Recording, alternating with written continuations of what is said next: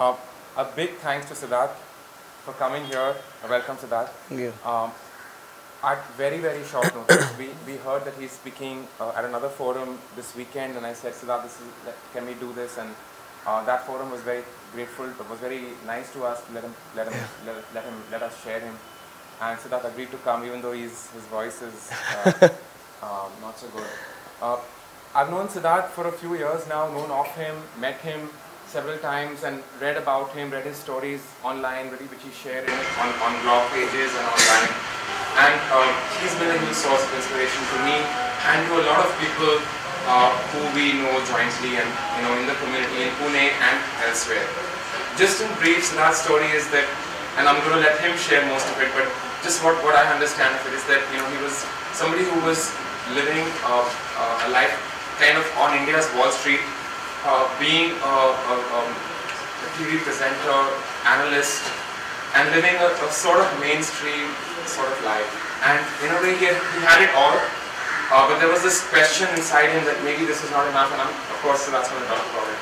And he sort of gave that up and, and started living at the, at Gandhi Ashram for, for, for four years, met wonderful people, different people, and, and did a lot of different things. And sort of life has brought him back to where he started, and he started this company called Sacred Capital, and we thought it would be amazing for him to share his story with us. Thank you. Thanks so much. Thank you. Thanks. Um, so I'll try and speak at the loudest possible tone. Uh, if at some point my voice just gives gives up, and then we'll figure out what to do. Um, but thank you all for coming. Um, yeah, can you? Yeah, yeah, no worries.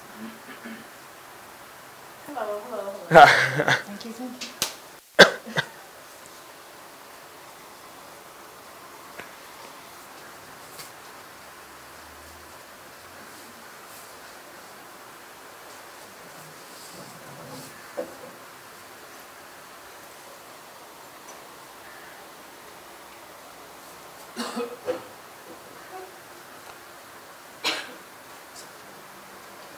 Good.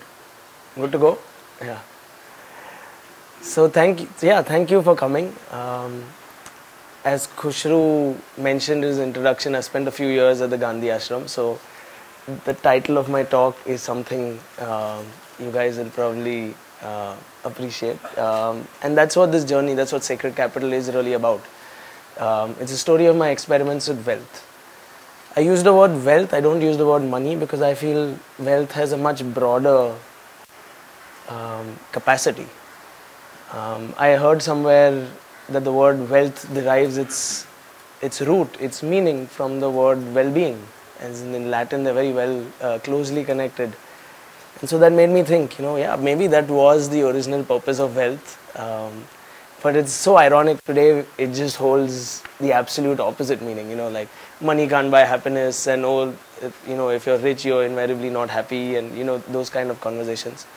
But two questions what can, can wealth and actually um, be aligned with each other, and two, what is true wealth? Um, the answer to which I don't know, but my life is about a series of experiments in that direction. Um, and so I thought of sharing some of these experiments with you. Um, and that's where we'll begin. Um, like I said, wealth today um, means a bunch of different things. This, interestingly, is a photo from just last week on 2nd March at, at, a, at an auto show in Germany. I don't know how many of you saw this. Um, but that's actually a Volkswagen, and that was the, the, the head of sales for Europe for Volkswagen. Um, and he was actually rolling out the latest Volkswagen and the latest features. And I don't know how many of you were aware, but last year Volkswagen had a major scandal uh, breaking out. Um, for those who, wouldn't don't know too much, um, regulators in the US found out that the emissions levels were 40 times that of the norm. And that's a massive scandal. And they had basically installed a little cheat software uh, which you know allowed them to bypass the regulations. And this broke out. Um, Volkswagen, the company, nearly went bankrupt. In fact, it's still struggling with a lot of charges, a lot of complications. And of course, the world wrote about it. Everyone was really upset. But me, as an you know, as a financial advisor, I was actually sitting back and thinking, wow, this is Volkswagen. Um, this is not like some businessman in Ludhiana who's frauded somebody. Uh, like this is one of the largest, most reputed companies in the world. Um, and this is basically what happened. Um, and it made me sit back and question, wow, what's going on with the world today? How do we actually navigate some of the developments in the world? Um, and in fact, last week, I come back to this photo last week at, at the auto show. There was this little prankster, Simon Brockwell, his name is. He actually broke onto stage as as the as the head of sales was speaking, and he tried to install a cheat software. There's a little joke, and he came on with a Volkswagen coat, and he was doing this little skit. And so, very embarrassingly, that guy, the, the head of sales, actually had to chase him down and and, and escort him off stage. Um, and so it is a, it's a really funny video that maybe you guys could YouTube. Um, but these are questions that are coming up in today's world when we're speaking about wealth, when we're speaking about companies, we're speaking about organizations. Um, of course, for me, a lot of these questions began with Lehman Brothers in 2008. 2008 almost became like the symbol of all things wrong with Wall Street. Um, and for someone like me who you know went to business school, and I remember when I was in business school, it was a time when uh, the whole India Shining campaign had begun, and capital markets had begun to uh, deliver value to to our country in the form of malls and shiny new roads and infrastructure. And for me, capital markets, financial institutions were the bearers of all these good things. Um, and so at that point, I remember I was heading, running one of India's largest trading desks. Lehman Brothers was actually one of our biggest clients. And for me to come in to work on 15 September 2008 and hear that, sorry guys, Lehman Brothers is bankrupt. And it just makes you wake up and think, you know, what's going on? Um, these again were not small organizations. Um, and the funny thing is, the world is so hyper connected um, that a, small, a sneeze here in California or in New York actually ripples out into a large scale viral fever across the world. Um, and so this, this talk is not about, you know, the evil people on Wall Street or, you know, what's going on at Goldman Sachs. There's enough documentaries about this, there's enough movies, there's enough uh, information about this, there's enough activism, uh, which is probably good around this. Today's talk is not about that. Uh, but to explore what next. Uh, and that's a question that a lot of people have been asking, and we frankly don't have too many answers. Um, so I'll begin with my story, and this I shared a little bit about it. Khushru spoke about it. Um, it was yeah that person in a suit, looking pretty serious, um, and um, a lot of that fell away when some of the developments that I spoke about transpired. Um, again, too many questions, absolutely no answers. Um, and a lot of that questioning made me literally pack up my bags and head to the Sabarmati ashram. Uh, at that point, I remember coming across the works of Gandhi, coming across the works of several other people who've spoken about the potential or ideals that men could or man could hold. Um, came across people like Sheetal and Kushmita at the Irvin Ashram, and for me, it was a quest of finding what next. Uh, like I said, no answers. Um, and so, literally, I quit work and spent about five to six months basically just reading, traveling, visiting different communities. And I remember coming across um, the Sabarmati Ashram in around beginning of 2011 and it was one of the few places like every other non-profit or spiritual community or ashram that i visited every community would be like oh my god here's an iim grad. Like let's you know can you make a powerpoint presentation for our fundraising? Can you make you know these excel spreadsheets for us for our working capital? Um, and i was happy to help but it didn't feel like you know true exploration um, but in the sabarmati ashram one of our very dear friends jayesh bhai said something very interesting to me um, he said बेटा तीन चार महीने के लिए आपका laptop बंद कर दो like shut down your computer for a few months and I found that really odd um, it made no sense to me because how could I help you know this is all I had been trained to do um, and then to actually switch off my laptop meant I didn't know what else I could do. Um, but some very interesting things happened. I think the Gandhi Ashram for me was this beautiful ecosystem of non-profits, of different communities, rural and urban and tribal. And for me, it just became a time where I could just spend time with my hands, um, doing some really, really minor things. Um, spending time with people like Vasant Kaka, Kanti Kaka, Gopal Dada, who've been uh, very, very senior Gandhians, um, who've spent time understanding different ways of expressing their life.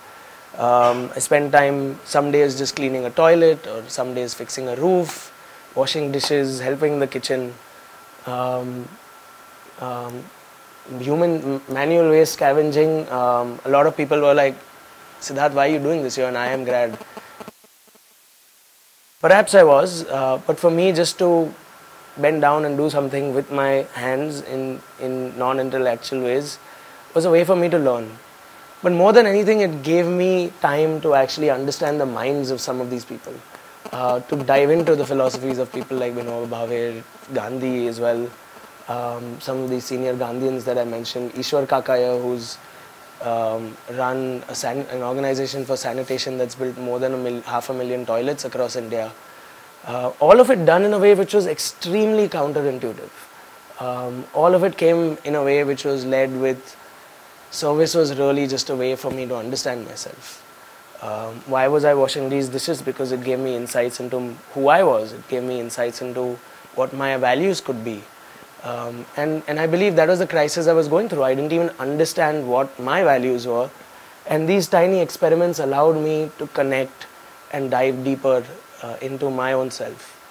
Um, and apart from you know all of these things in the evening, there was this beautiful space there called the Seva Cafe. Um, how many of you have heard of the Seva Cafe or been to it? So Seva Cafe is a very interesting experiment. It's it's a cafe that's run by volunteers. It's a mainstream rest. I mean, it's on a mainstream road run six days a week for dinner, and volunteers run this cafe every day. Guests who walk in are told, you know what, this this meal has been offered to you as a gift. You choose what you'd like to pay, and what you pay allows you to keep this experiment running.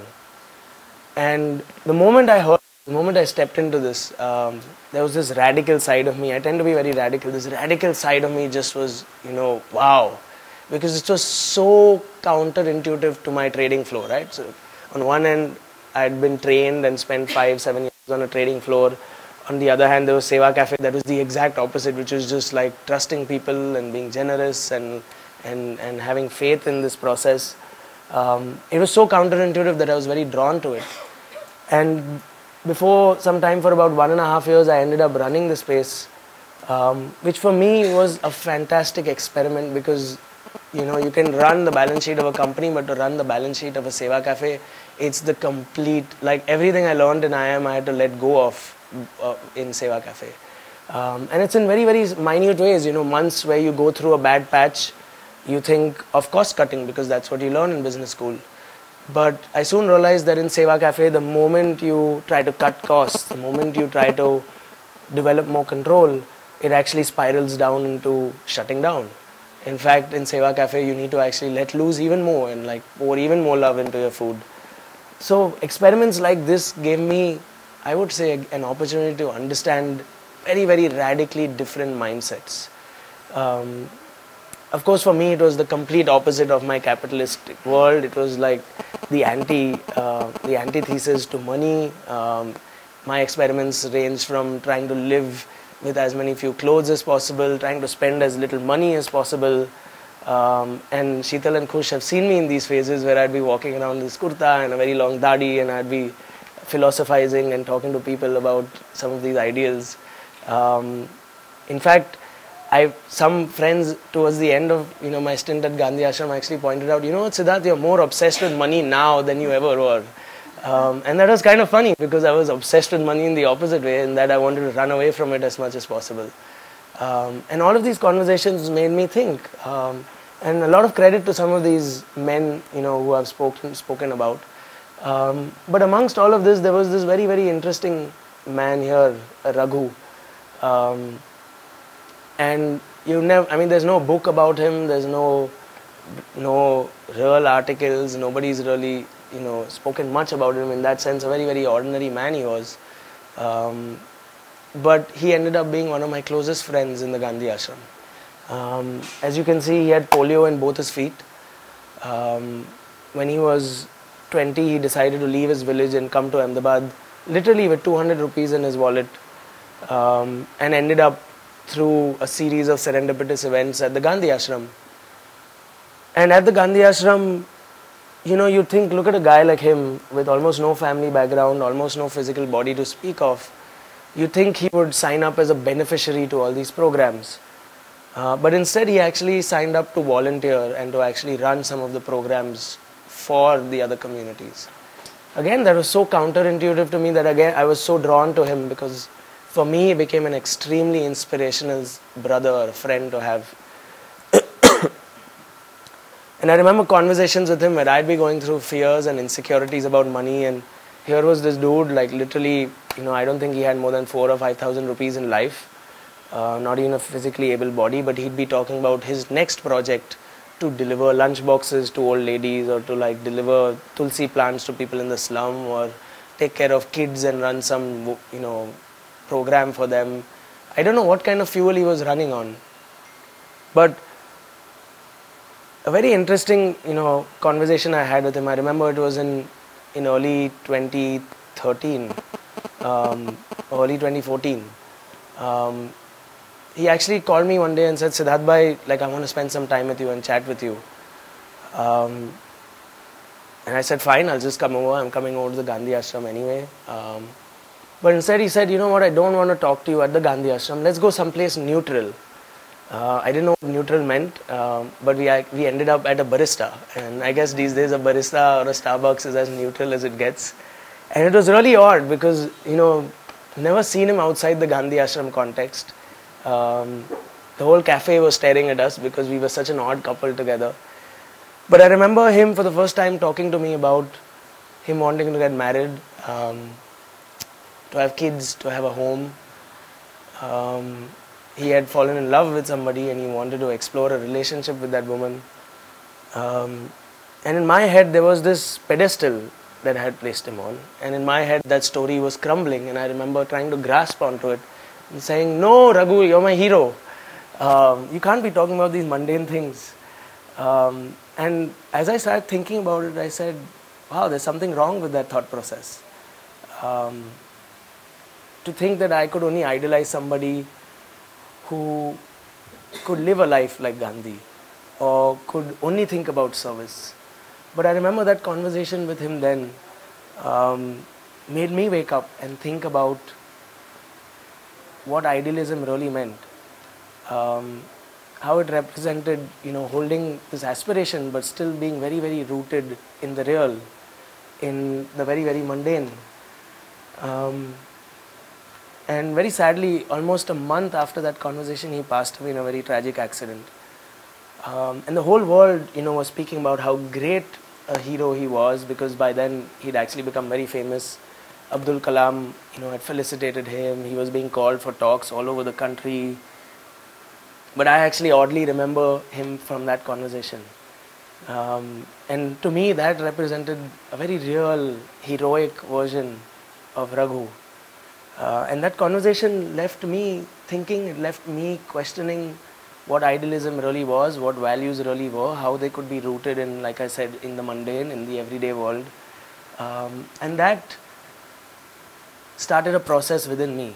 Um, for about four years, like I said, I completely disconnected with money. Um, and I started having this urge, like almost like a calling of sorts, to say, you know what, I want to re- reconnect with my world of finance. Uh, there was this analytical side of me, the laptop, like let's call the analytical side the laptop or the computer, and I hadn't engaged with it in a very long time. Um, and so I had kind of resisted the urge and said, no, no, Siddharth, you can't sell out. Um, but after my conversation with Raghu, something within me felt like, you know, going back. Um, and going back and expressing my values, what I'd learned in the Gandhi ashram, in my context, um, in what was my world, um, and engaging again with wealth in a way. And so, in very, very small ways, I tried reconnecting with my world of finance. Um, I started thinking about my wealth, and as opposed to shoving it away in an Excel file hidden away on my laptop, I actually looked at it again and questioned what wealth really was. Um, and I remember doing this little chart in, I think it was May or May of 2014. Um, and I actually said, you know what? Maybe wealth is very, very broad based. Uh, what if we decide to give it that wholesome, holistic expression that it needs? And of course, when I say money today, you think of like very material, financial expression of money. And so I actually said, you know, before Gandhi Ashram, what are the things I was doing? Um, and how wealthy was I? And so I actually made a little chart of how wealthy I was in 2010.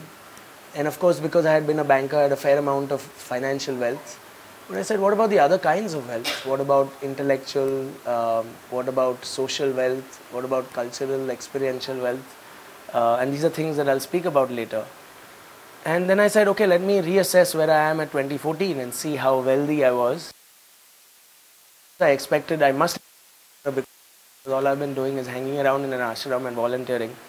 Um, but very oddly, um, like you look at this and it just intuitively it says like that I'm much wealthier, right? Um, and of course, financial wealth had been depleted, not too much because I was living a simple life.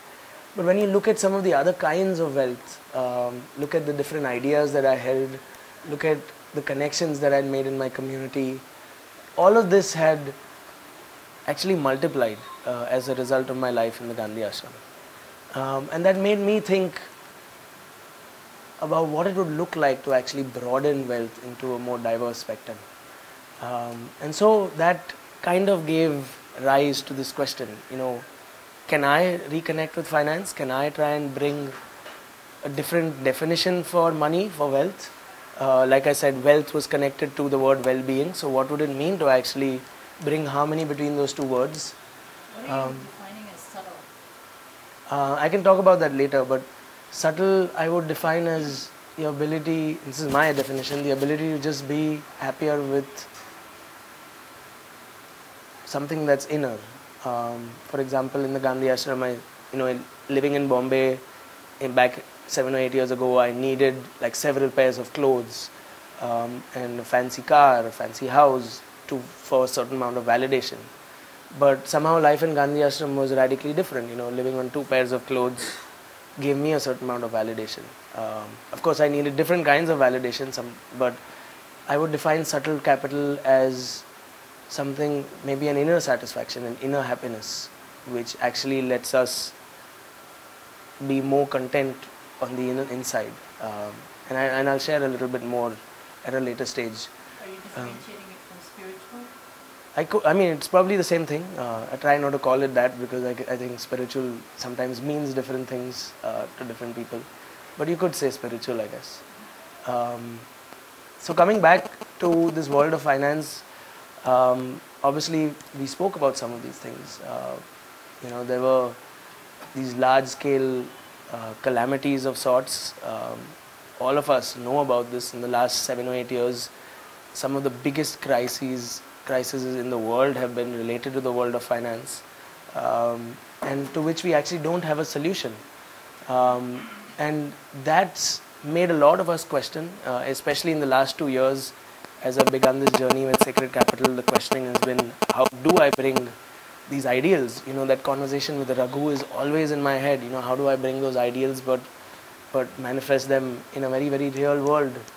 Um, and I remember at that time I began, like I said, these conversations with myself, um, where I was exploring wealth um, in these ways. Um, but I also began having some of these conversations with some very close family and friends. And when they started having conversations around wealth, rather than you know launching into a speech on idealism, you know I actually engaged in a conversation with them, and that gave rise to some very very interesting relationships. Um, earlier, you know, as a trader, as a broker, I was always very very vested in you know commission, very very vested in trying to earn revenue, but sitting out of the Gandhi ashram and having these conversations with people, it gave rise to some very authentic conversations.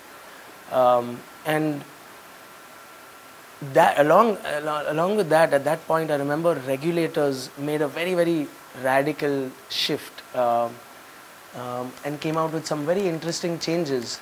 Um, so they looked at you know some of these situations. We all know about what Lehman Brothers did, uh, and they said, you know what, for for decades, financial institutions have been the guardians of capital in a way. Um, for decades, you know, for any kind of flow of capital in the world, we've had to rely on the Lehman Brothers, the HSBCs, the Citigroups.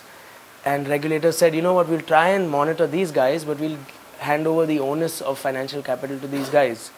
Um, but clearly, post 2008, a lot of regulators had been waking up and saying, you know, the government had been waking up and saying, we need to do something about this.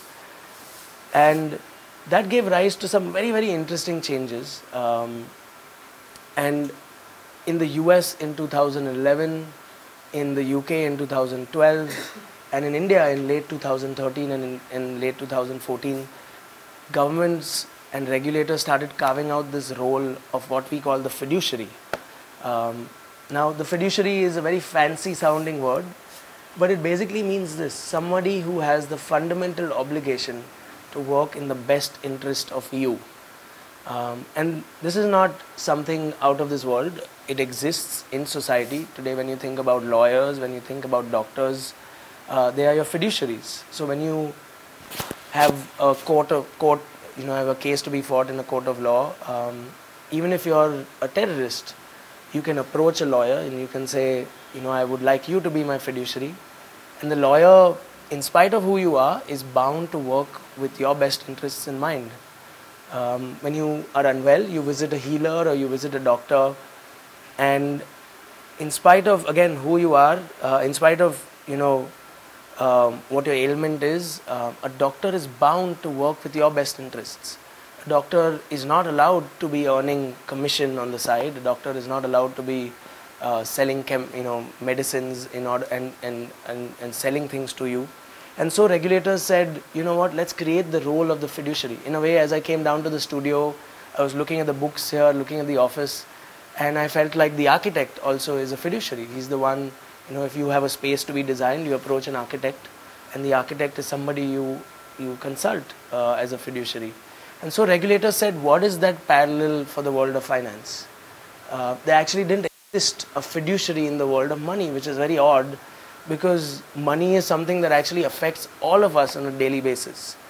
And so regulators all over the world started inculcating and started creating regulations for the fiduciary. Um, and they gave some very, very simple definition, definitions to it, uh, simple rules for this. The first was that as a fiduciary, um, you cannot be selling things to people. Um, and that makes sense. So today a lawyer or a doctor is not going to be selling things to you. As a fiduciary, you are bound by laws of confidentiality. So today, even if you're a terrorist, a lawyer is bound to hold your information in confidentiality. And third, there must be sanctity of advice. Uh, so I remember those days, the first picture that you saw me on CNBC, you know, broadcasting information on stocks. Um, you know, it was advice that was dispensed, but I didn't know who was receiving it. It could have been a housewife in Pune, it could have been a financial analyst on Wall Street. Um, very often you're on TV and you're just saying things because you know it's too embarrassing to not sound wise. Um, and what I realized what, was that there was no sanctity to my advice. I remember in my heydays, you know, in India, even if you go to a shadi or you go to a funeral, people come to you and say, "Can you give us some stock tips?" And you actually let loose stock tips because you want to come off, come across as impressive. Um, but when I heard about some of these regulations, it made me think, wow, like what would it mean to actually to actually bring sanctity into my advice? And so regulators actually brought a lot of responsibility around this role. Um, and it's called different names. In, in India, it's called the registered investment advisor. In, in the US, it's called a financial planner. In, in, the, in the UK, it's a different name. But in essence, it's this it's that entity that is bringing, that is working with your best interests in mind. And I remember working with all these family and friends out of the Gandhi ashram. Um, and, I, and I remember they, they were requesting me to formalize some of these conversations, and that's when I heard about some of these, you know, these regulations. And I said, "Wow, this actually makes sense to me." Um, and so I actually began practice as a fiduciary. Um, and initially, it was just me. It was just me sitting in one corner of Bombay, um, and you know, giving advice to people. Um, but what I soon realized was, was that it was giving rise to a very, very different way of designing. Um, so far, we've always been associated with money must go to financial institutions. You know, these institutions on our behalf will manage our money, invest in stocks, invest in bonds or deposits. But now, as a fiduciary, it allowed me to engage with people in very, very different ways. Um, and that's something I'm going to speak about. But a, a key facilitator in all of this was technology. Um, I remember as the head of India's largest trading desk, I ran something known as a Bloomberg terminal. The fees for a Bloomberg terminal were almost 10, 12 lakh rupees a year. And with a Bloomberg terminal, I had access to information all over the world uh, at my fingertips. Um, but as I came back to Bombay and started developing my own systems, I came across systems that were extremely robust and extremely cheap. Today, I operate a system which is as powerful as the Bloomberg, but costs, costs me only $5 a month. Um, and that allowed me to start connecting with information in a very, very different way. So, sitting out of my little room and little office in Bombay, it allowed me to access information, access analysts, access people all over the world in very, very low cost ways. And it started giving rise to very, very new designs. Um, and slowly, people have been talking about this. Um, I've written a little bit about this. I'll probably, you know, dive into this if we have more time at the end but it gave rise to newer definitions of wealth. It gave rise to newer ways of organizing, um, which we hadn't really seen before, or we considered very inefficient before. So here's the 20th century paradigm that all of us are familiar with. You know, this could be a financial institution, this could be an HSBC, a JP Morgan, an HDFC. Um, these institutions are monitored by regulators. Um, and they obviously have a hierarchy in place. So you have your MD, then you have your VPs, your managers, your senior managers, and on the and on the street you have the relationship manager who knocks at your door, calls you when you're in the middle of a meeting, and asks you know asks you to buy certain products. We're all familiar with this.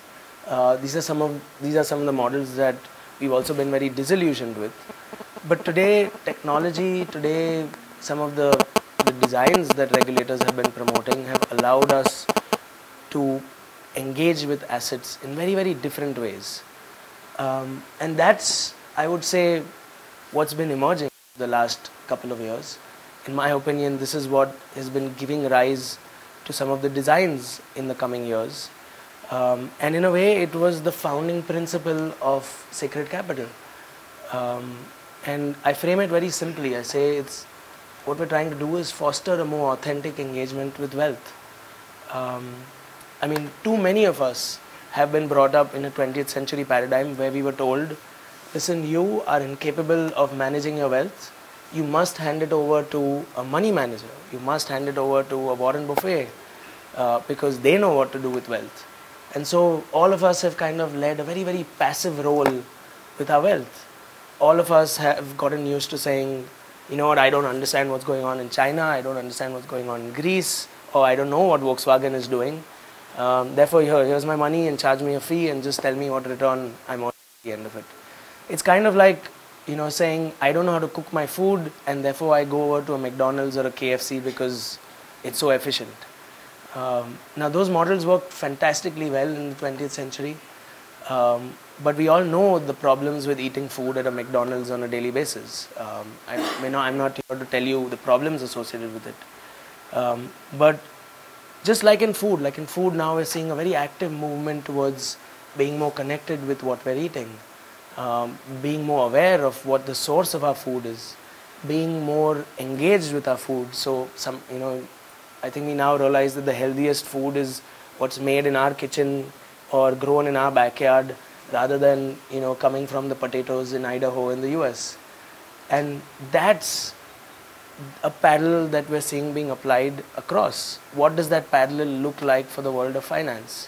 What does it mean for you as an individual to say, this is who I am as an individual, this is what my needs are, these are, these are what my values are, and how can I nurture assets that are reflective of who I am? Uh, how can I be more engaged in this process of nurturing my wealth? This was not a possibility maybe 50 years ago, or 10 years ago, or even 5 years ago. But today, with regulations, today, with technology, all of these paradigms are now becoming a reality. And that's made me um, think through my designs.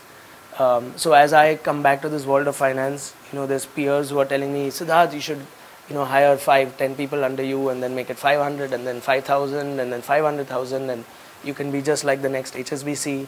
But I think the point is we don't need another HSBC, um, and so it, it's it's shaping my thinking, and this is my, you know, the result of my experiments. These are results of my thought processes, which I'd like to share with you. How can we think in more non-hierarchical distributed ways um, for wealth? What would it look like and so how can you know me as a fiduciary allow individuals here to engage with their wealth in more meaningful ways? Um, and so that's given rise to some very very interesting designs. Um, of course on one hand you have individuals that we've been that you know i've been working with. On the other hand, you have organizations that I'm far more engaged with.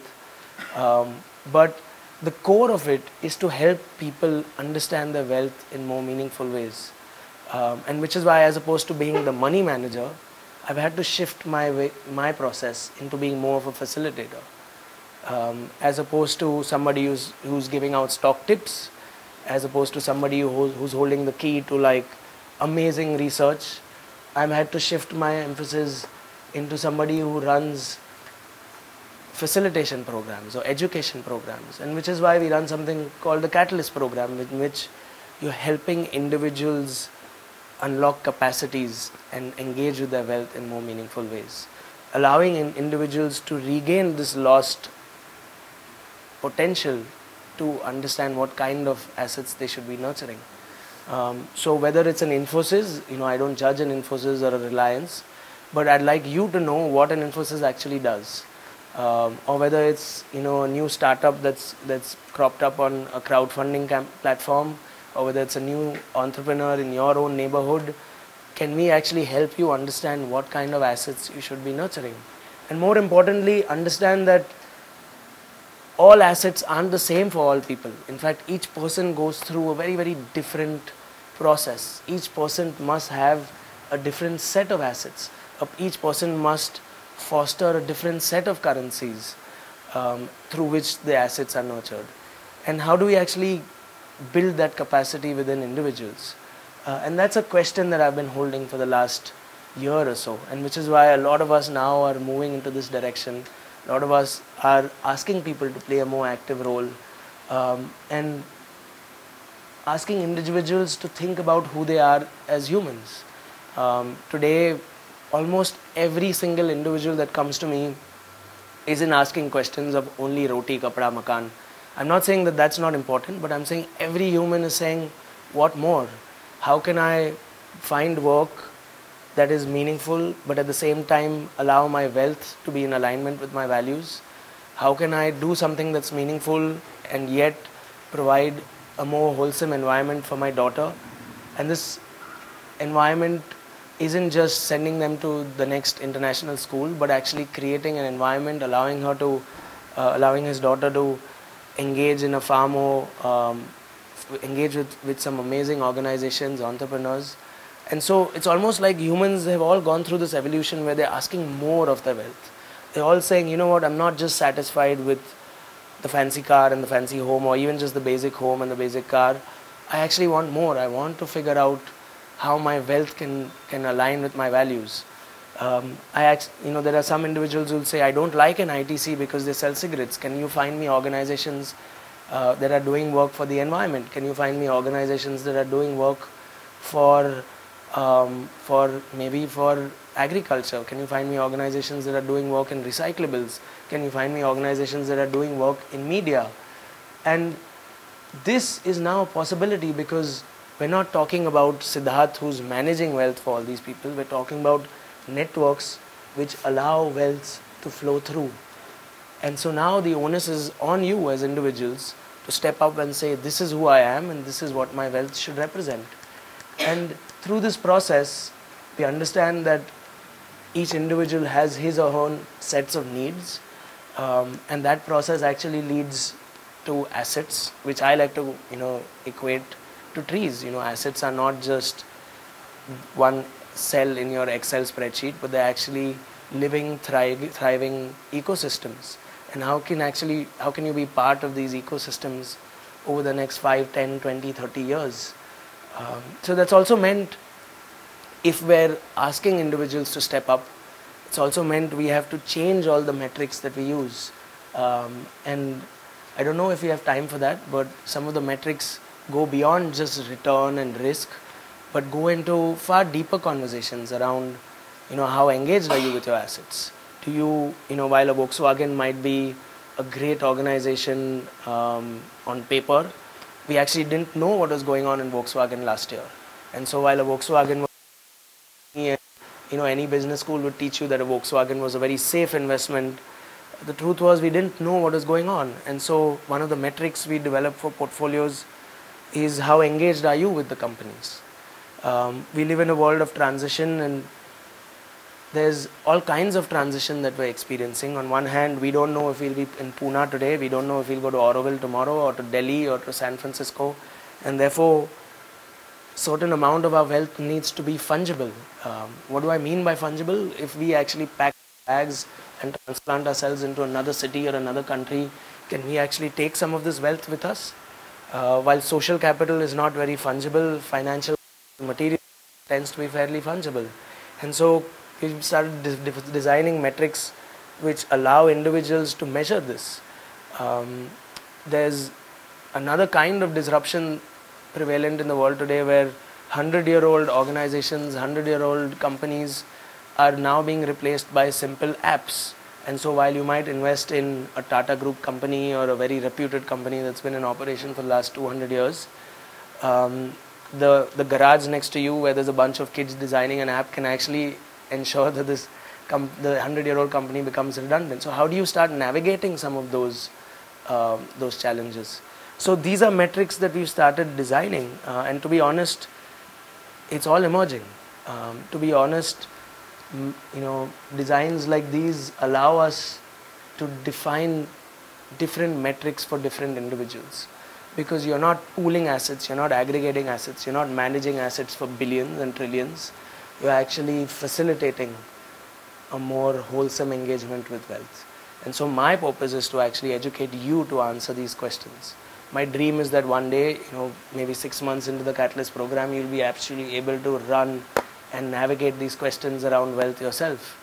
Um, and maybe five years, ten years from now, when we start seeing newer definitions for wealth emerging, you'll actually be able to navigate them across the spectrum. You start saying, you know, wealth is not just financial and material capital, but um, social capital, cultural capital, and we'll actually have currencies for some of these things. Um, maybe even for such for subtle capital. Um, I don't think that's too far away. I think it's actually just five or seven years away. Um, the technology is here. It's just that we as people have lost the ability to engage with wealth. And if you ask me, that's the sole principle behind my work. It's the sole principle behind my own experimentation with wealth. Today, with my own wealth, my experiment is actually to hold lesser resources in the banks and in financial capital form, but actually pour more and more of my wealth into my experiments. And today, my experiment is sacred capital. Um, and so, these are experiments that I'm trying in my own way. Um, and I would say um, I, th- these are experiments that we encourage um, in our journey with other individuals as well. Um, so, Kuchru, maybe we can leave it open, like a little interactive session with Q and A. Um, I've said quite a lot, and I know some of those things you might have questions on a few things, and we can, you know, take it forward from here. Did you intentionally leave out health as capital? It's a good thought. Um, in my, Classic health yeah, um, I so I thought about and I kind of framed it as natural capital. Uh, I don't know if that's a good Environment, right? uh, environment, but then at through one argument and discussion I had with somebody, I actually framed even me as part of the environment. My body is part of the environment.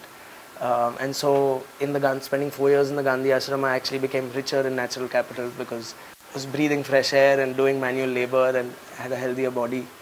Um, but this is just, like I said, all of this is emergent. I'd, I'm actually, you know, I'd welcome conversations on this. This came because I read an ancient book which had eight forms of Lakshmi. Um, and very interestingly, one of the forms of Lakshmi, you know, a thousand years ago was progeny or children. And it's very interesting to note nowadays when I have conversations with people, children are liabilities uh, because it means we have to spend on their education and their, you know, their, their visits to the US and, and setting them up. And so it's very interesting to see how, um, how these paradigms shift. But that's where this, you know, this came from, and, I, and it'll be nice to maybe speak about it. It seems like you have a few thoughts on this, and I'd love to discuss it um, as well. Maybe first there, and then you could, you know. Yeah, I like your example about the MACD which you gave that it's best to learn the cooking rather Yeah. than just going because uh, you know Yeah. with food as the evolution is happening people are you know much aware Yeah. of what to but wealth seems to be uh, I'm a professor and a doctor but this wealth is one thing which is neither taught in the uh, education system and it uh, seems to be a very wizardly sort of thing for us. So I want to ask you like this was a very interesting food for thought what you spoke. How to engage with wealth we feel just keep it in the banks and put in FDs and all, but how to use it in a given lifetime. Yeah. So uh, my question to you is, uh, like we are attending one thing today, but Yeah. this is a sort of thing which needs a constant inspiration, talking, Yeah, discussing. So what are your future plans for uh, in So, this direction? So I get your point, and I think a lot of people, as I started writing and speaking about this, people said, "This is great, Siddharth. Now what?" Um, and you know, there's just one of you, and you're sitting in Bombay. What are we supposed to do? Um, and so I feel like the design for my organization has been for addressing some of your questions. Um, so first, rather than you know a very hierarchical organization, I'm thinking in terms of a network. Um, so it's not just me, but it's an ecosystem that you would be engaging with. Um, technology today allows us to engage with people irrespective of geography. So today, only 20% of the people I work with are in Bombay. Um, only 60% are in India. There's people all over. Um, and so I think technology uh, has basically made geography history. Um, and so, coming to your question, how do we engage? I would say there's levels. And so, what we've been doing internally is creating an engagement spectrum of sorts. Um, so, at one level, you could be very loosely connected and just stay connected through talks like this, or through blogs that I might put up, or you know, future forums that we would have. Um, we call them local chapters in different cities. Um, a slightly deeper way would be to maybe work in something the, in the Catalyst program that I spoke about, which is fairly loose. You know, it's like a once a month Skype call. Uh, more deeper engagement is f- family office, which is like far more hands-on and far more in depth. So these are different ways in which you can engage, um, and in both ways you could, you know, either want to learn, you could either. Say, I'm actually, you know, quite passionate. I would like to contribute, uh, and even that's welcome. And so, I I mean, some of that I've put up on my website, and maybe I can share with you later. But there's different ways for you to engage. As much as possible, we're trying to institutionalize it. So it's not just me talking to you and you know conducting a classroom course, but stuff that we're putting up online, so you can even go through it, and therefore conversations can be you know far more meaningful. Um, and so this is stuff that I'm very actively designing.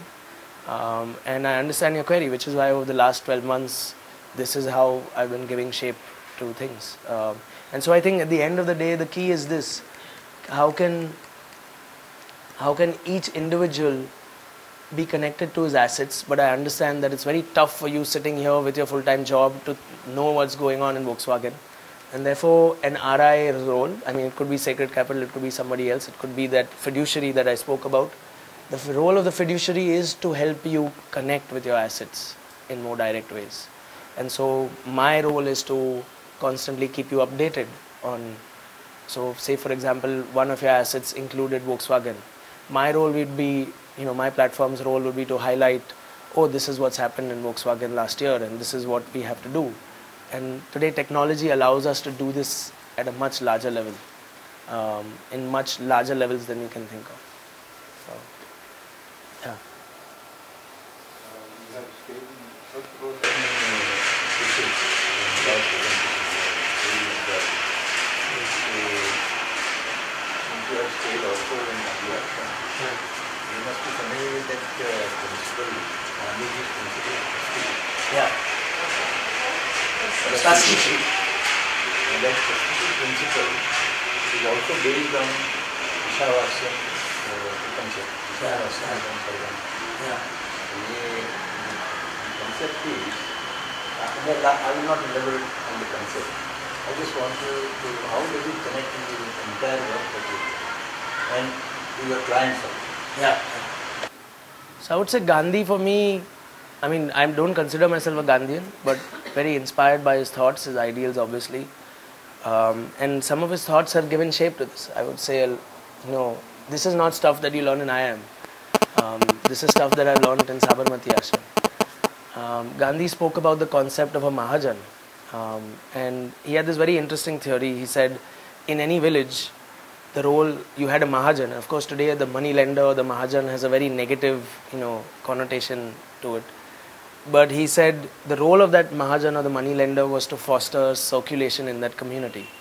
And he said in any village, if any Mahajan played his role well, you'd see good circulation, and as a result, you'd actually never see extreme accumulation of wealth. You never see extreme poverty or extreme uh, uh, accumulation. Uh, it's kind of like in the body. Like whenever there's a swelling in the body, you say, let's increase circulation. And the role of blood and oxygen is in a way. So I feel designs like this are more suited towards um, circulation. I would say today, as a fiduciary, I see myself as a Mahajan. My role is to foster that circulation. My role is to ask people, what is the role of money in your life? And can you look at money as a facilitator? Not money for money's sake. Like too often, you know, we tend to assume that more money is good. Um, more money is not bad necessarily, but I think we have to question how is it facilitating what we're here to do. And today, an RI, a fiduciary, allows you to do that. And so I'd frame trusteeship in that way. Uh, trusteeship, in a way, was to look at money as a facilitator. So whether you're an organization, how do you engage with wealth in a way which doesn't compromise your values? If you're an individual, how does money allow you to do what you're here to do? Um, and in a way, this conversation has been, you know, I, I would love to see this conversation being pushed forward in a 21st century context because I believe Gandhi's adaptation of that was very a- appropriate for the 20th century. And today I feel very blessed because there's a lot of senior Gandhians. I don't know if you know of Satish Kumar.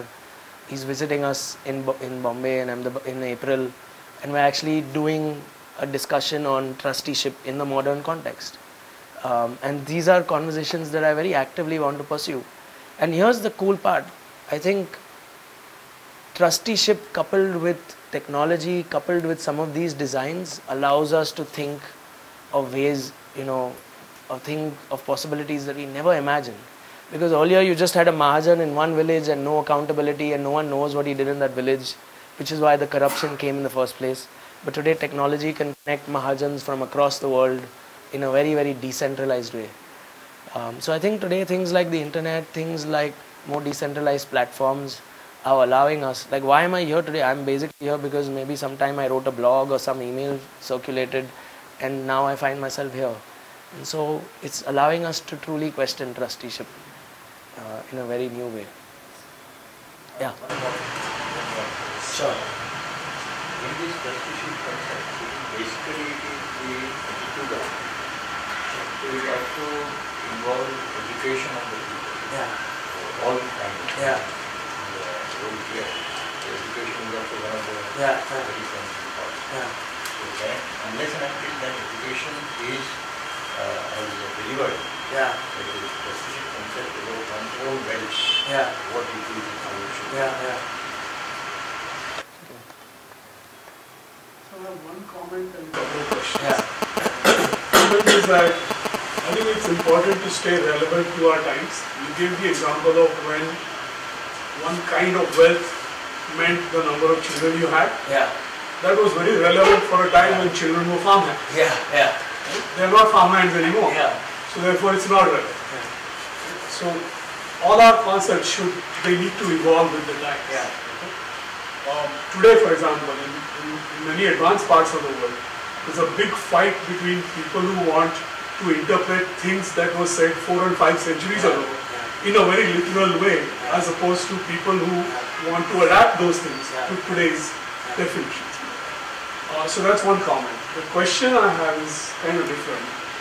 You're talking about being connected with your wealth in the same way as we are connected with the food, with our bodies, everything. Good point, no question. However, we always reach a limit where we give up our responsibility for what's happening in our body because we don't know. Yeah. And then we go to a doctor. Yeah. Similarly, there were years when I did my own taxes, and then there were years when I needed a CA. Yeah. Where I just didn't know how to do my own Yeah. taxes. Right? Mm. Today's financial world okay, is infinitely more complex Yeah. than it was even 10 years ago. Yeah. Right?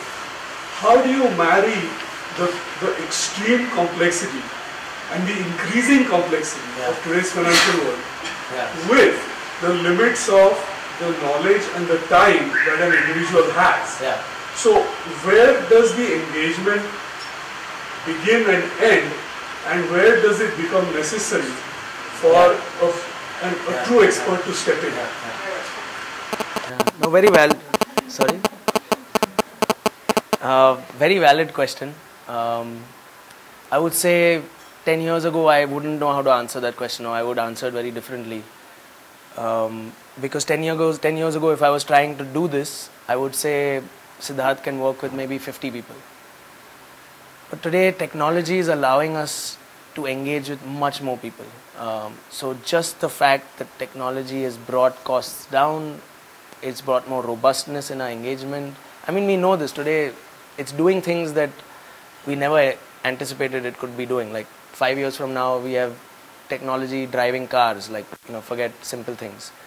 Um, and so, this conversation would not have been possible without the help of technology. That's that's one. Um, and so the systems that we've des- we've been designing allow for your concern of whether or not you can stay on top of things um, to be managed with very very minimal inter- engagement from me. Um, so while in the first month we might engage every week, by month number five we'll actually be engaging only once. Beyond that, just emails will be. So it's allowing me to automate. It's allowing me to create systems which actually don't need my my dependence. Um, and so that's I would say huge plus. Like we are underestimating how much that is really possible. So so today you mentioned you know gave the panel of the CA. In a way, I am still like the CA. I will still be hand holding you through this process.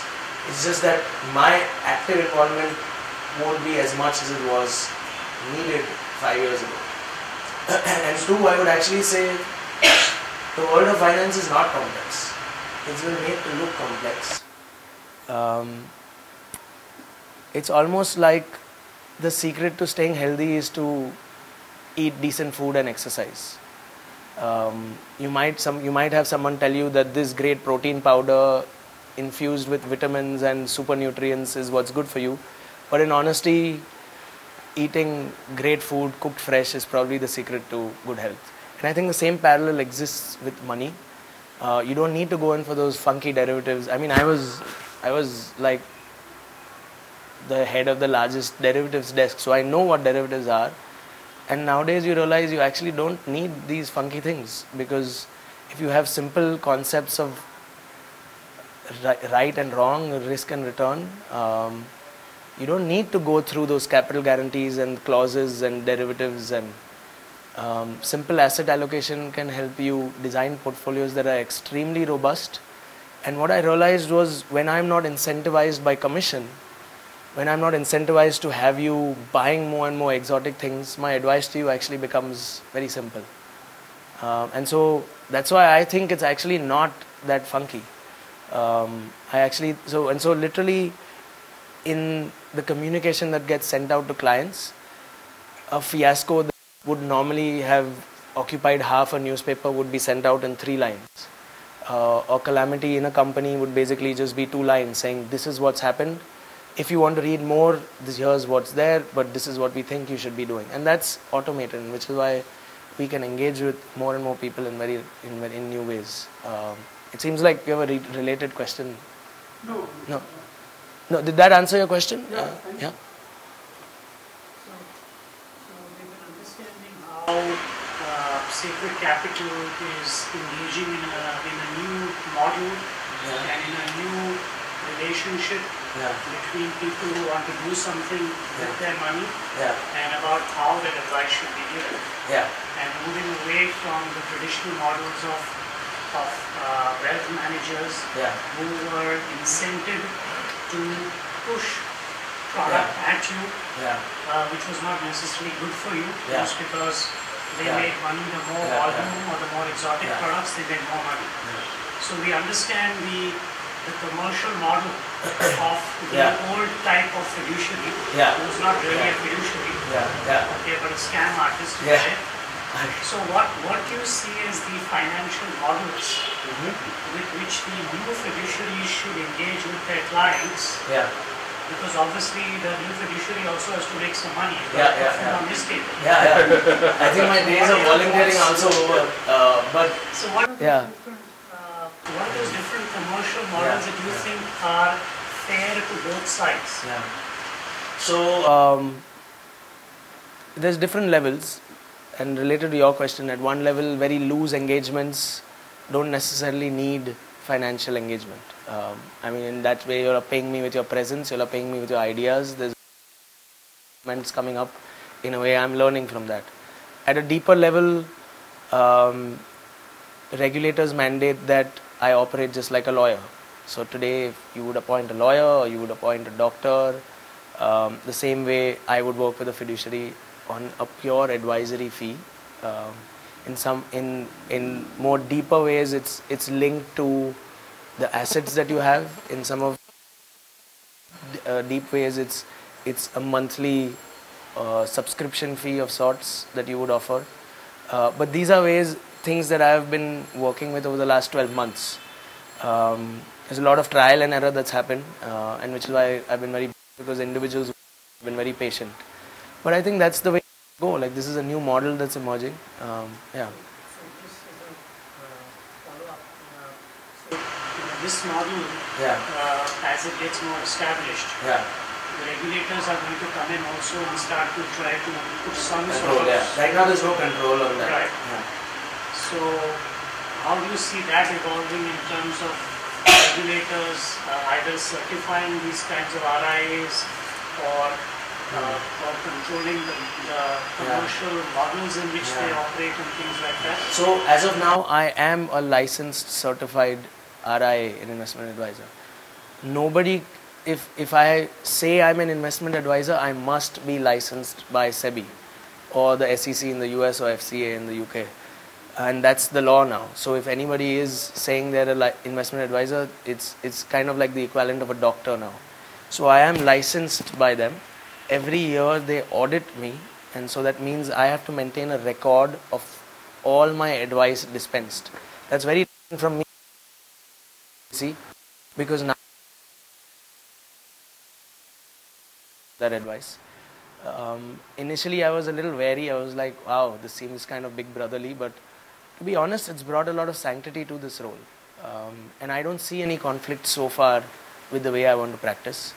Um, they don't mandate, they don't offer any uh, mandates on the amount of fees or how to fee, how to charge, but they have created beautiful structures for grievance redressal. So if you feel there is malpractice on my side, you simply have to write into an email ID and highlight, you know, any malpractice from me. So in a way, it's brought about a certain amount of ethic, a certain amount of accountability. Sadly, nobody knows about this. Um, it's it's not. Uh, I mean, the regulators on their part, they've done this, um, and they're trying to do the best they can. But the regulators, um, I think, the change eventually has to come from people like us. Um, and there's about 200, 250 odd investment licensed advisors in India now. Um, but probably just three, four, five of us practicing in this way. Um, I'm, and, and that's because it's tough. Um, because I mean, I was sitting in Gandhi Ashram with virtually no expenses, which is why I could experiment with these things. I do understand a lot of advisors struggle with it. And so now my conversation has branched out to other advisors who want to work in this way. And so I'm saying, let's pool our research, let's pool our entrepreneur networks. And that's where scale will come. So your question of, you know, how many people can you really engage with? I think scale comes in a very decentralized way. So eventually there would be, you know, hundreds of advisors like me in the UK and US working with people across the world. And we would pool resources. And that's where we would get scale. And so technology allows us to pool resources. So are you building the technology platform that Yeah. enables this I yourself? mean, we have been. Um, I feel very con- very confident, um, and also because technology is moving, you know, allowing so many more amazing things and in very cheap ways today.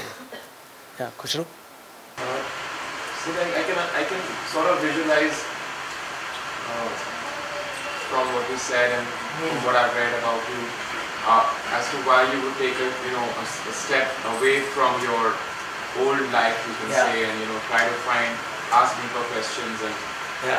look at your life uh, afresh in a sense which is what you did. But was there a moment or was there uh, my question is what what brought you back to sort of your roots again in in your learning, in your in your education, in, in what you were doing before, and to look at that in a different way. Um, I'm sure there must have been times when you felt, okay, I just want to throw out my whole life. I'm going to re, re, redo my life, you know, and not go back into capital markets. Or, Yeah, yeah. uh, so what was that after four years that brought you back into this? Uh, So initially it was like I said, you know, this desire to reconnect with my analytical side. Um, I have always enjoyed that. Um, I've, in Gandhi Ashram, I think I stepped away from it very actively.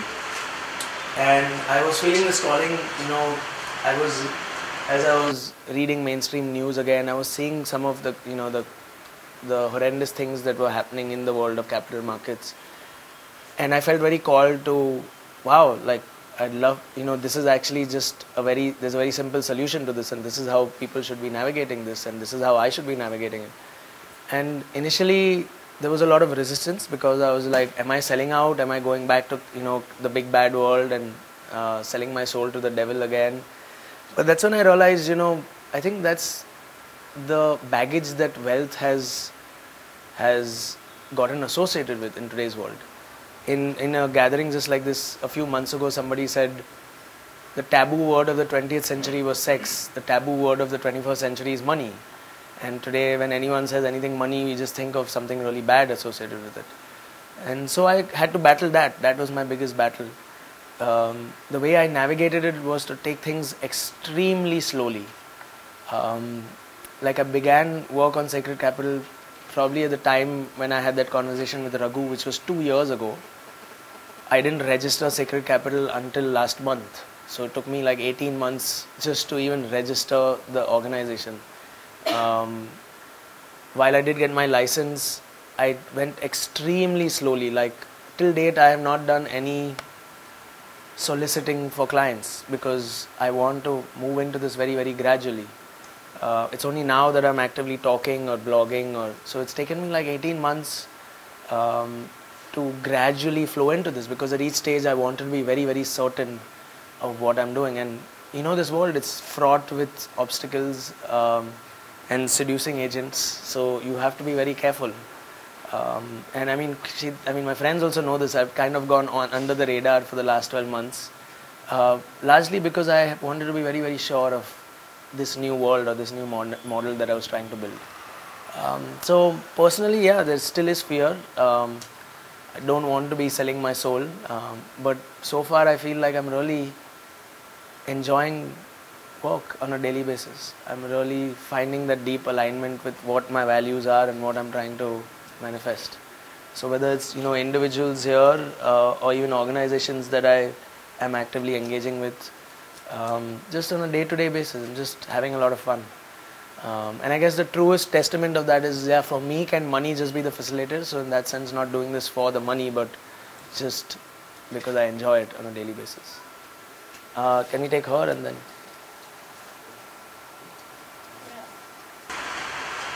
I think it is obvious to all of us that technology is an enabler. Yeah. But when we look at the base of the technological progress, Yeah. I personally find Yeah. that it is creating another Brahmanical class Yeah. by itself. so I was just wondering, do you envisage a time or a period when the populace Yeah. will be so familiar with technology so that it will enable better distribution of wealth? Sure. That's my question. Um, that kind of brings Did you me. get my question? I, I think I did. Um, I think it's related to this. How, how many of you have heard of the Bitcoin here? And invariably, it must be some pretty nasty things about the Bitcoin. How it's like this black money currency and like. Uh, so. Popular mainstream magazines uh, you will find, and I'd say it's this is not so much about the Bitcoin, but I would say it's about the technology behind the Bitcoin called blockchain technology. Um, so you guys must have heard about Napster, right? Like in the 1990s. Uh, before that, music was always held on CDs and tapes, and and then Napster came around, and all of a sudden we discovered, wow, music can just be shared peer to peer. And Napster shut down two years later because you know of certain, um I mean, a few houses ensured that it was shut down. That technology actually went forward, and today we use music in very, very peer to peer ways. The Bitcoin is like money world. Um, its technology, blockchain technology, has allowed us to create a decentralized consensus for the ledger. What does that mean? Today we go to a bank and we deposit our money in a bank account. We pay an ICICI bank a fee because that money is safer there than at our homes. And so ICICI Bank has hundreds of thousands of employees, all this technology, all of this you know, capital to ensure our money is safe. In effect, that work can now be done by the blockchain technology. The blockchain technology was introduced by an anonymous person in Japan who left it open source and just published the paper. And so today we have the technology to design wealth that is truly peer to peer. We have the technology, and I've been chatting with a few people in MIT and in Massachusetts who've been designing open source systems which allow us to maintain records of wealth in a peer to peer measure, in a peer to peer way, which is actually very scary news for financial institutions. Um, which actually means in a few year, few years from now, I think business of banking will actually become redundant, um, and that's what um, some of these articles were about. Um, because in essence, a simple server or an algorithm can do the work of a bank. So the potential now exists for us to create wealth which is truly unfettered, which is truly uncontrolled. Whether that happens or not, I guess it's up to us. Um, it's up to people like me as advisors to step up and say, yeah, you know, can we work as trustees? Um, so I feel the potential, either way, the next five, seven years are going to answer a lot. Um, and which is why for me, the programs like the Catalyst program and new ways of working are becoming very important because the only thing holding us back is our ability to engage with them. And so I'm already having conversations with people where we will be able to design alternate forms of wealth. Uh, in the US already there are 4,000 alternate currencies. Um, there are already platforms available where we can design our own currency. So for example, with a company that's creating recyclables, we're talking about environment friendly dollars. Within Sacred Capital, we want to issue integrity dollars. And so, um, five years from now, we won't be talking about wealth purely in the form of rupees and dollars. We'll be talking about wealth in the form of Apple dollars and integrity dollars and subtle capital dollars. And, and that sounds really funky and very like sci fi, but technology for it is actually here. It's about whether or not we wish to uh, introduce this into our lives. And so communities will start having their own currency. You'll start seeing pockets of wealth which are unlinked from Wall Street. But all of this is only possible if we step up. um, and do it. So to answer your question, I think it's possible, but um, it's possible only if we decide to manifest it collectively. One, one thing I doubt is, Yeah. even if the trust is Yeah. the base of all things, Yeah. if the trust is not there, Yeah. then the whole system will fall. Where, whatever the system. So I feel one way to design for trust is to introduce more resilient designs. If you looked at that first graph chart where I showed you, you know, one sneeze in one part of the world meant the whole world collapsed. We've created a money system which is hyper efficient, but it's not resilient. And so, which is why if somebody sells bad loans in California, our mortgages here get derailed. But when we're creating systems for trust, we have to create resilient systems, and which comes to your question of creating decentralized networks. Um, I have a few thoughts on that, but that's actually several chapters long, so maybe we can discuss it at another time. But I hope to write more on some of these things. I feel like the missing piece is a desire to create trust based systems, not the technology for it. Um, let's go with him. Yeah, I want to How much, ask, sorry, how much time do we have to uh, tomorrow also you are giving a talk from 11 to 1 Yeah. as we uh, got in the mail and what is the content of that? So that's slightly different. Um, Kushru requested me to keep this more about my journey.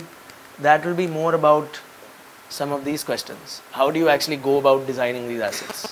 So that means understanding different metrics. Um, and the thing is, we are not familiar with these metrics because we've been used to money management metrics.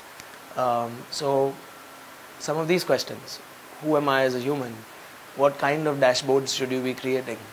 Um, and it looks a bit scary, but it's not that scary. Uh, but some of these things is what we'll be diving into tomorrow because it's a smaller group and a more in detailed um, process. And so some of this engagement spectrum also is what we will speak about tomorrow. Um, yeah.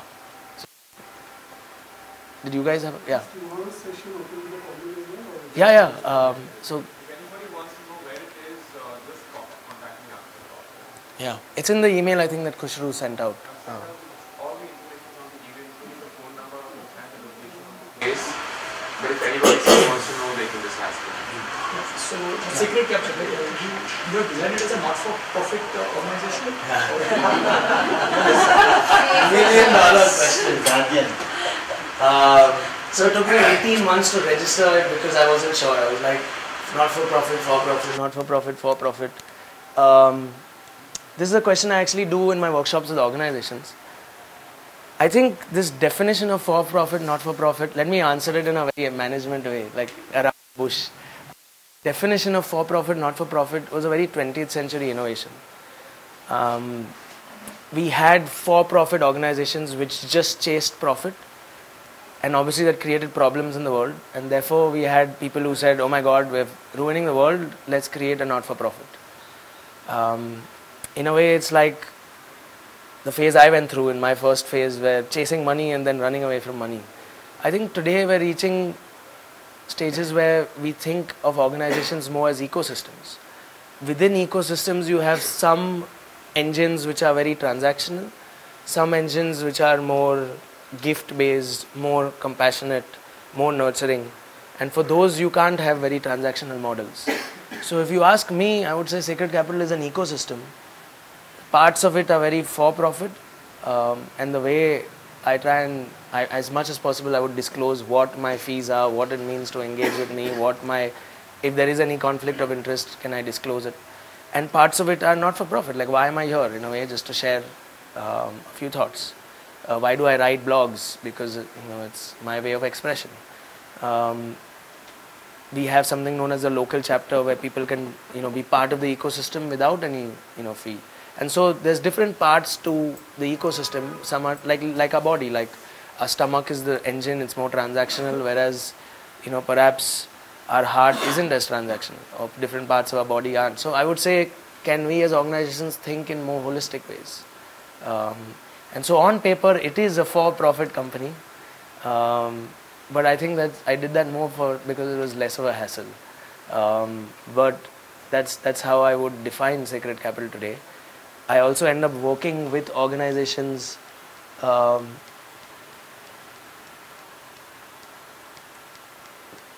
who think in the same way. So when you ask me, oh, are these organizations that we can donate to or, or invest in? I feel that's not the right word. Um, they're organizations that you want to engage with. Um, and so some of these, I mean, all these organizations exist because there's a purpose. They want to do something in the world. And every organization has to engage with money.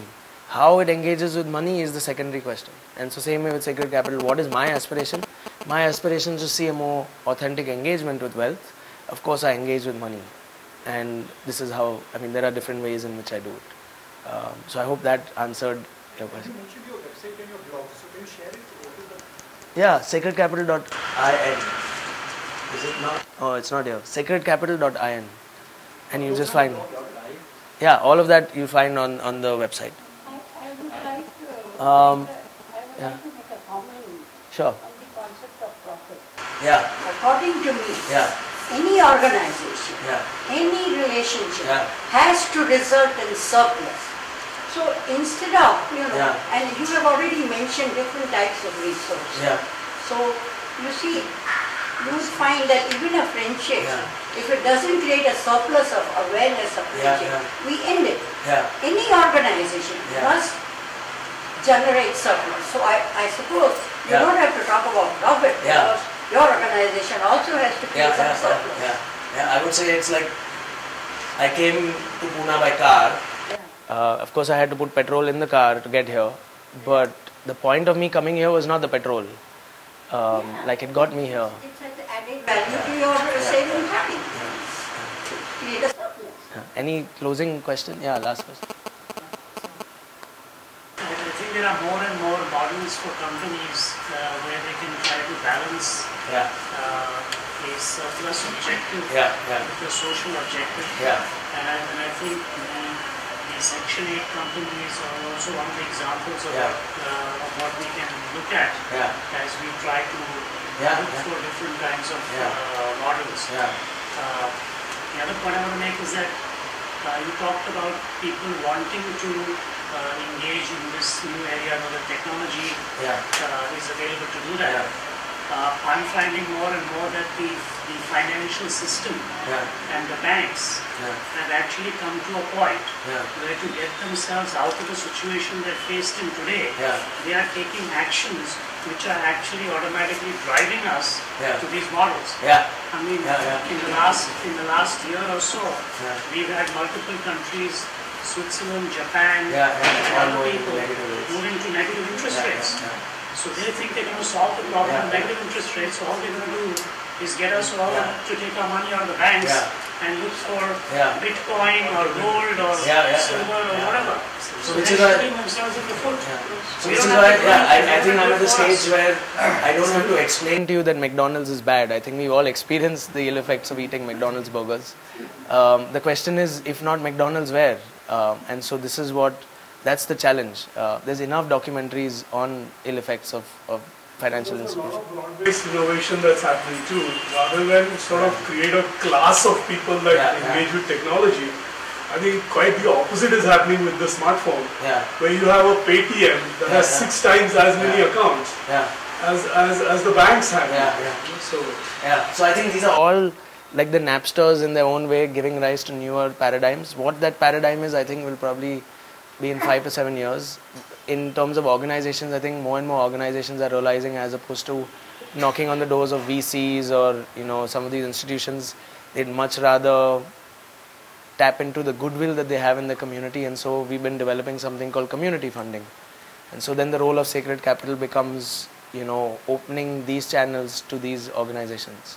Um, and so that's some of the work that we've been doing. And so i think it's inevitable um, i think it's just a matter of time um, that we see this yeah kushru should we wrap up No, I think there are a lot of questions. Even I have a lot of. Uh, i'm yeah up to you i'm uh, any more questions for anybody or shall we wrap up? Looks like we. yeah that's Yeah. Yeah, um, I mean, you're welcome to write in, engage at Sacred Capital. I've been using that word so much that so you can't forget it. Uh, or just visit the website, sacredcapital.in. Siddharth, thanks so much Thanks. for coming. Yeah. Thank you.